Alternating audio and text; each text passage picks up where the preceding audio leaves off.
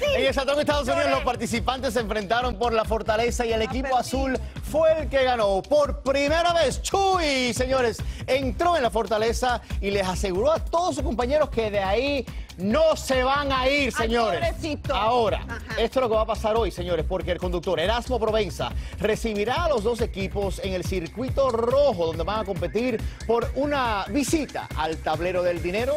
Las lesiones siguen, obviamente, afectando a los famosos. No se pierdan lo que va a suceder esta noche en Exatlón y de lunes a viernes y también los domingos de expulsión a las 7, 6 centro, obviamente aquí en tu cadena Telemundo. Gan- De alguna manera le advirtió a Geraldine eh, de que pues, evidentemente Gabriel ya tenía fama de mujeriego, que de alguna manera pues fuera a terminar. advertir, cada quien escoge y cada quien tiene que vivir su vida.